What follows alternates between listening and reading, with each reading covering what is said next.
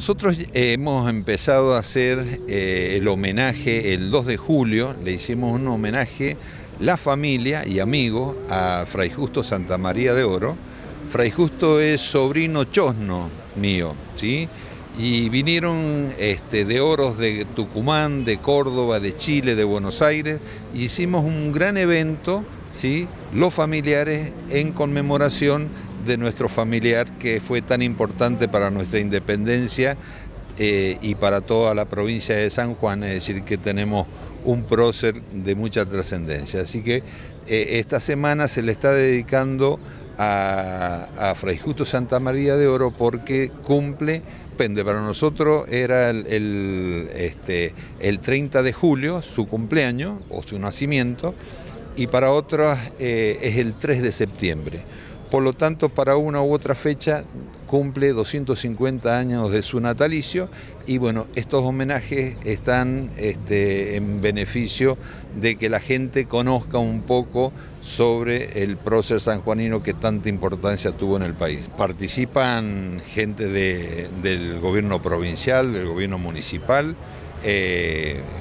nosotros los familiares también,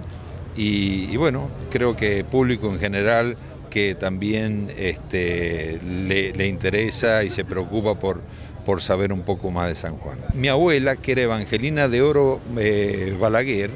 era la última eh, descendiente de la línea nuestra de oro puro,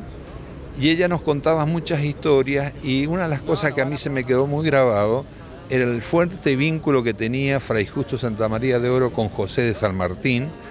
y de hecho que Fray Justo fue electo diputado en representación de San Juan para el Congreso de Tucumán por unanimidad. Y eh, tuvo la suerte de conocer a José de San Martín y creo que ahí se genera un fuerte vínculo y yo eh, creo que por la buena estratega o estrategia que tenía San Martín o, ser un buen estratega,